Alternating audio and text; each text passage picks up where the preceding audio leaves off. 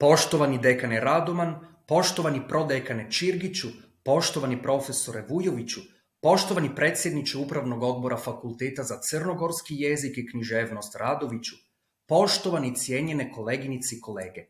Velika mi je časa da se upoznamo jako za sad samo ovim virtualnim putem.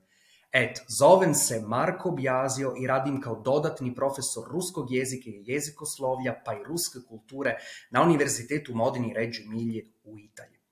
Veliko mi je zadovoljstvo i izuzetna čast što ste mi pružili priliku da održim pozdravni govor na početku ovogodišnje međunarodne naučne konferencije četvrti Cetinski filološki dani, čiji se ovogodišnji program čini izuzetno gustim i uzbudljivim.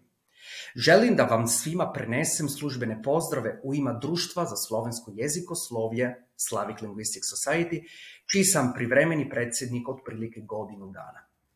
Eto, kao što vjerovatno već znate, Društvo za slovensko jezikoslovlje, koje je osnovano 2004. godine, jeste neprofitna naučna organizacija koja podržava međunarodnu zajednicu jezikoslovaca i studenata zainteresovanih za sustavno i naučno proučavanje slovenskih jezika, uključujući i crnogorski jezik.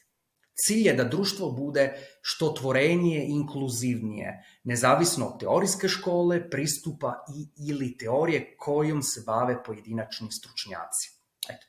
Svake godine društvo organizuje veliki međunarodni skup koji je otvoren svim zainteresovanim stručnjacima sa svih strana svijeta. Upravo se završila e, ovogodišnja konferencija održana od 24. do 26. augusta 2023. godine na Filozofskom fakultetu na Univerzitetu Komenskog u Bratislavi, Univerzita Komenskeho v Bratislavi.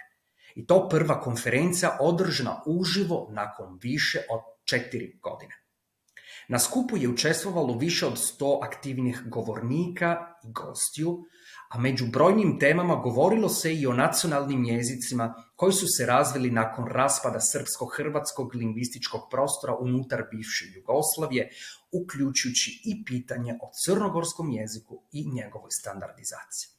Eto, lično govoreći Želio bih da je ovo bio samo prvi korak prema većim brojnjem, recimo raširenjem, e, učešću crnogorskih stručnjaka, pa i uopšte stručnjaka u oblasti montenegristike na konferencijama Društva za slovensko jezikoslovlje, koje predstavljaju savršeno mjesto za međunarodnu diseminaciju rezultata naučnih istraživanja kako bi društvo nastavilo da ojačava odnose s fakultetom za crnogorski jezik i književnost i da plodotvorno sarađuje s njim.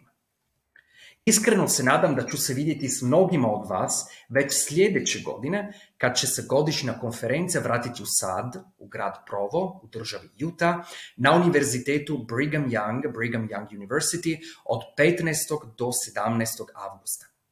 Također ću vas podsjetiti da će 2025. godine konferencija biti održana na Univerzitetu u Veroni, u Italiji, a 2026. godine na Nacionalnom univerzitetu u Seulu, u Južnoj Koreji.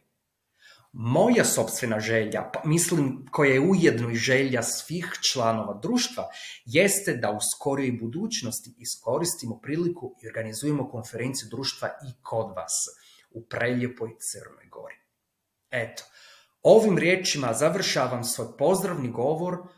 Naravno, želim da vam izrazim na iskrenju zahvalnost na pozivu, a sem toga, razumije se, želim vam i uspješnu konferenciju tokom ovog dana, pa i sljedećih dana.